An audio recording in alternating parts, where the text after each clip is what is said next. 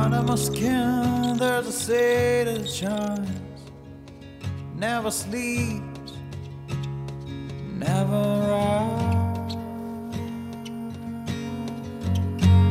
rises. byarananiye kumuhamagara zoe? Gusa sinzi impamvu nawe adatekereza kumuhamagara kandi yaratandukanye na rero wabaye ikirera ubu se kuba wiri gufata amafaranga yakagize icyo akumarira ukayahereza boyfriend wawe? Niteguye guhinduka Chris. Ntabwo twaguma muri ibi ngibi. Gusa umumbura mu buhe buryo umusore twabanye nabi?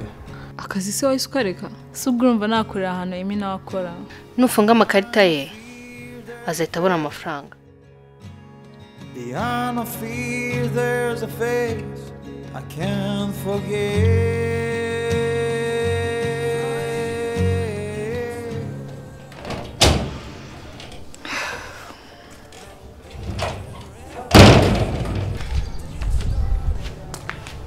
Reba ugiye ngiye kureba Chris out of nowhere I have to see him Zoe Chris loves me has been in love with me all the time.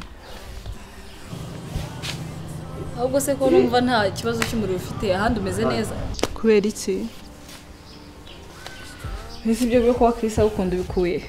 Twembi turabizi ko atawukunda ntabyo wowe uzi Zoe. Ninza ndakubwira byose sibyo? Wait.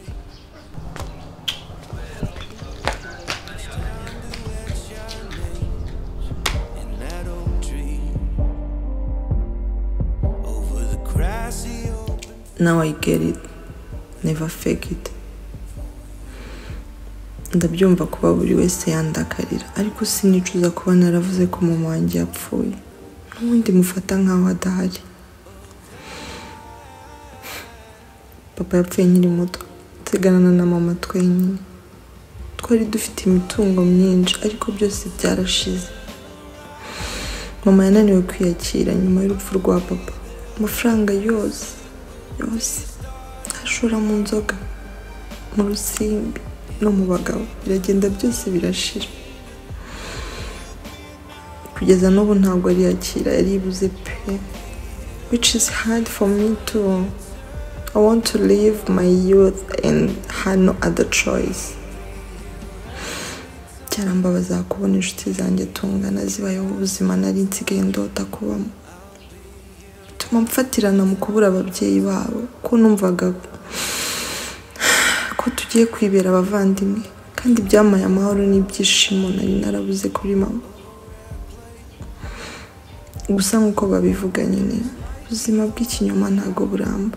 Sonorera you're gonna be exposed and ruin everything you fought for.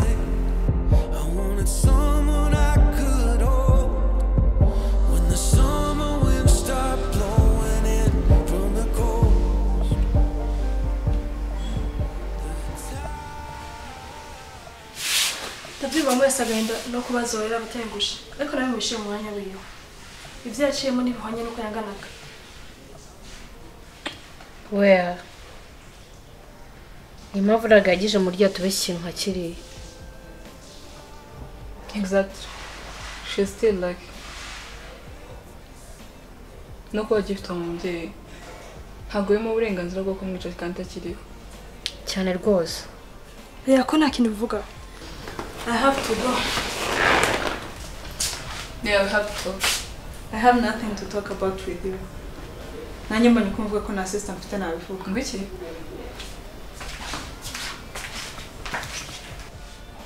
mwumvishwa n'uriya mwana avuze si ubundi we nariya mwapfuye iki?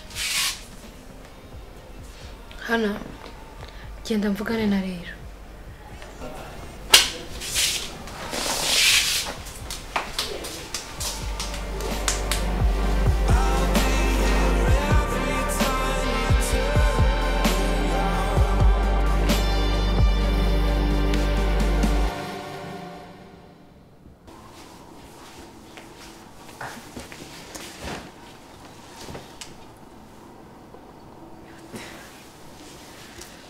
numvaga se uri burare rero ntabwo ntibitinyuke kukuvugisha n'ibyo nabakoreye. I'm so sorry. Warakabije yego. Ariko ntabwo byakora ko inshuti yanjye. Gusa zoe nsezeranye ko ni- niyo nakubera utazakomeza kwanga mama wawe. Ariko? Ntabyo ariko nshaka. At least you have her. Ntabwo umeze nkatwe. I will try. Thank you.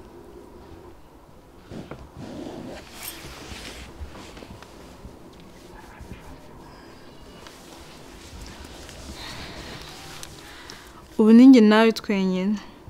Tugiye kugura no gushaka akazi dushaka ukuntu tubaho. Ushatse kuvuga ikiza nashwanye na rera kubera njye? Oya ni birebire. Ariko ngwino tubanze zuteke ndumva mpfuye. Ibya rera nzaba mbikubwira urakoze cyane Lea. Ntukanshimire zoe ntabwo mbikunda.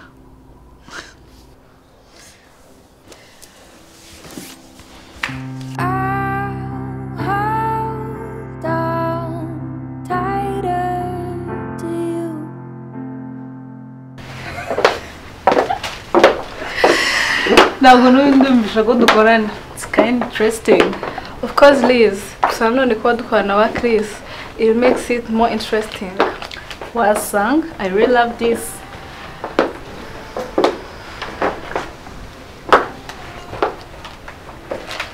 But Emily loves you. And? And what?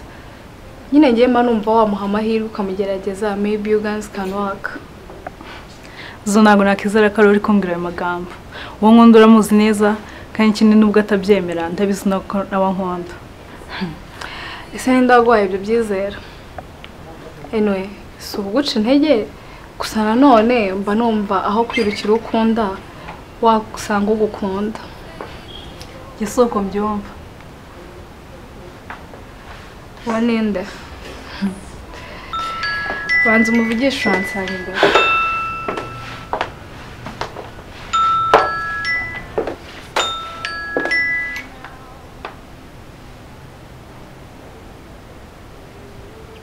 Hello? Good morning. Meze neza Amy, don't worry. Ahubwo se ko umpamagaye muri iki gitondo. Kuki? Uri gukora iki?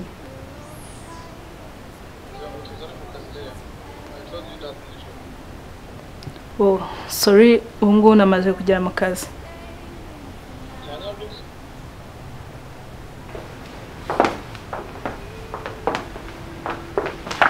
Oh, sorry ntabwo nakurebaga. umeze neza Yeah, I'm good. Ahubwo ureba ishati. no it's okay I'll manage it You sure? of course Tera noneho bigiye uretse gato.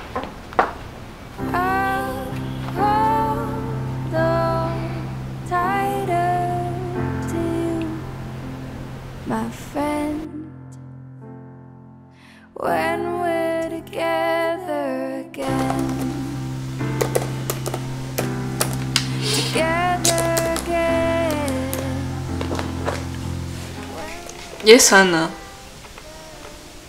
Yeah. Yeah. noneho ndumva ari byiza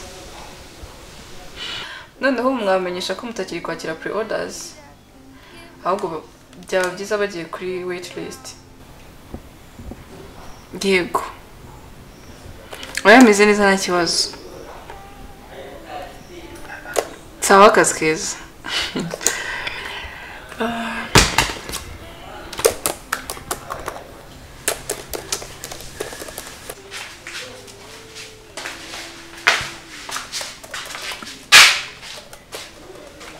Hi, beautiful. Hey.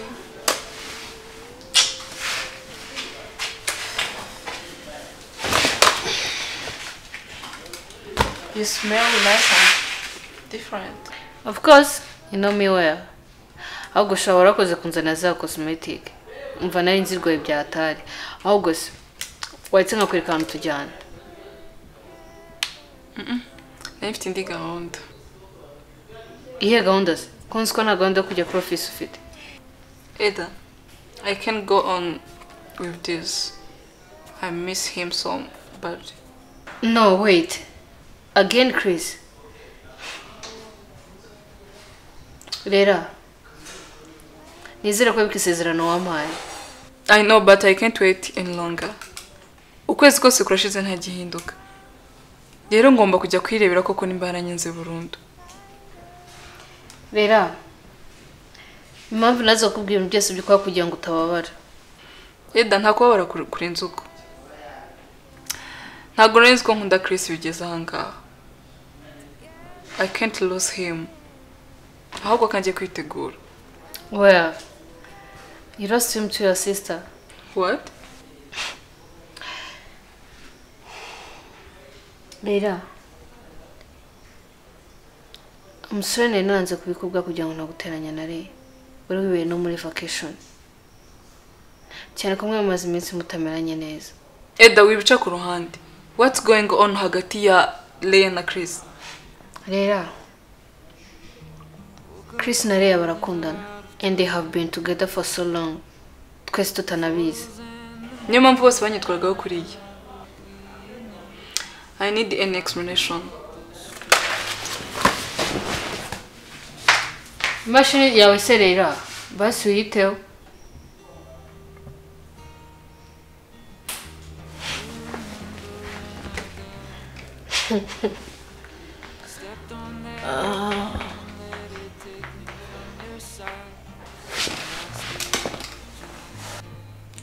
maze igihe mbapangira ngo abavandimwe mwe none iki ngiki ni cyo gihe kugira ngo mumarane?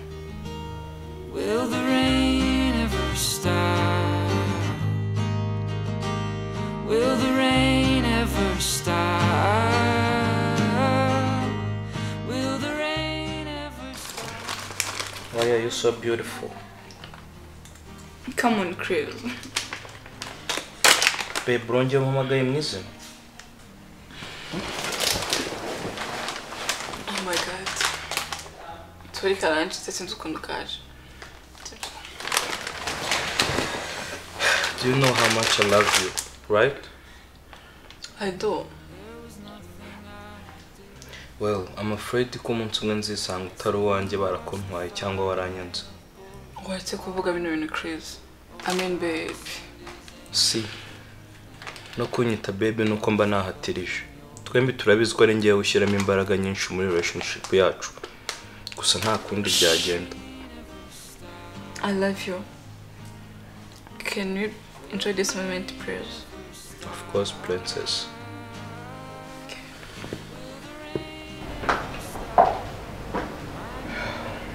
Nizere ko nakuteranije Of course no. okay Mm, hari akantu nashaka kugusaba Tagakireya. are you free after work Free? I'm sorry mu mwanya wawe bwite gusa nshaka kumenya nimba ufite umwanya tukajyana gusangira as compassion of what happened are Come on, Leia. Ntabwo ndi umwana mubi bigezaho. Byabaye kare it was accident kandi iriya ni ishati isanzwe so don't mind. please Okay. If you insist then that's a yes Ndashyira imbabazi yes no.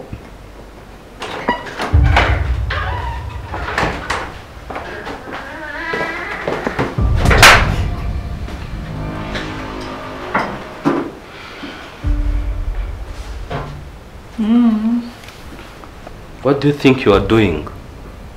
Ese uratinyuka ukamubwira nta soni ufite? She's your sister. No. She's a side chick. That is a bullshit. icyo naba ndi cyo cyose ntabwo ufite uburenganzira bwo kuza ukankubita Ndi mukuru wawe ahubwo nanakongeza. I dare you Leila wongera kunkorera ku mukunzi turabipfa Umukunzi. yeah njye na rero turakundana nuko twanze kugira public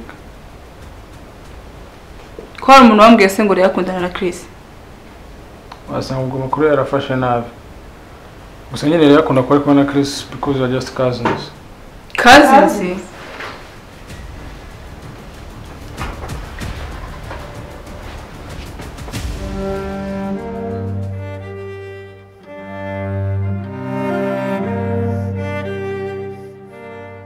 Ese watuje ntuze gute wowe? Ntabwo uri kumva ibiri kuba? None se wagiyemo ukajya gukiza ko biruta kwizengurukaho gutya uterera abantu imitwe? Ziba maniya ni niba ndi kugutera umutwe se wamvuye imbere? Nako inyuma. Yawe umenyeshe ko ndi mu kazi kose nshinzwe zoe. Sinkunda drama urabizi.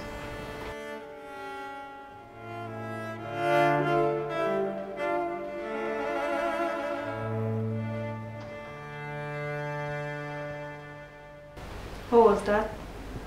what was what? Ntabwo ubonye ko ngucishije rero bakwishe se You are not my boyfriend. mbabarire gusa nyine ni byo bise binza hafi. And gute uri mubyara wa Chris? Hari aho bihuriye no kuba kuba umukozi wacu? Aya ibyo twabimenye nyuma. I don't believe you. Gusa ntibirangiriye aha.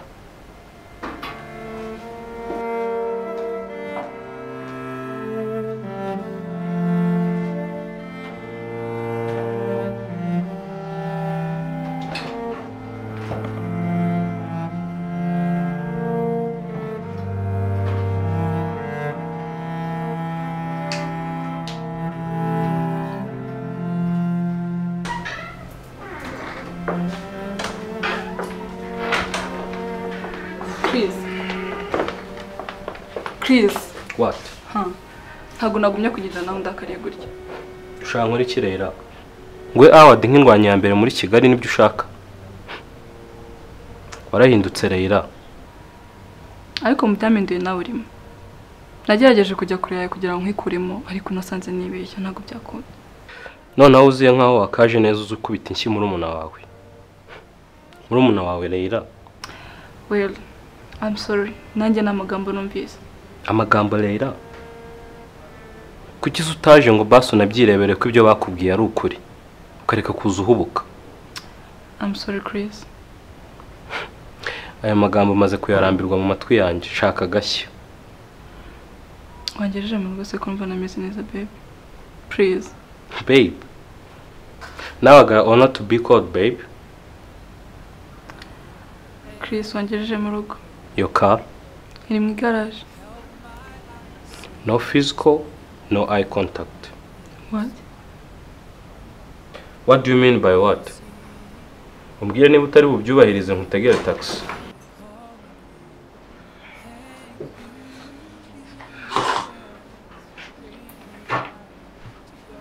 Uraza kunsobanurira ukuntu wavuze ko turi ababyara ndetse n'igihe wagiriye mu rukundo na Layla ese ntabwo wabonye ibibaye ahubwo urabura kunshimira? eh mushimire ko umesheje ikiraka cyo kuba umushoferi. N'ibisanzwe gutahana umukobwa ukunda none kuva ryari se wi- wishimira Layla ko afatwa neza? Aho mperukira wari uri kumunyangira. Mwana, naje kubona ko me to see nta watandukanye cy'imana yafatanyije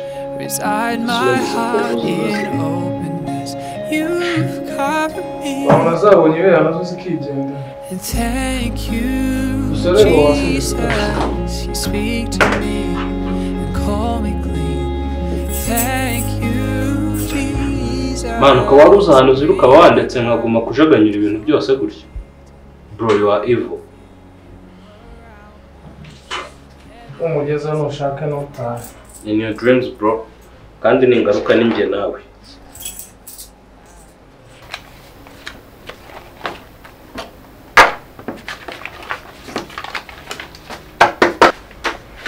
Guy, you still here? Yep, ahubwo we nari nzi ko watashye. None kwa Chris namenye n'aho amasaha ageze. So the girls... They just left. Ndabona nawe wari usoje. Hmm, cyane ahubwo na taxi nayimpamagaye ishobora kuba yahageze. Igendere nawe ndaza kuhafunga. Sawa umugoroba mwiza.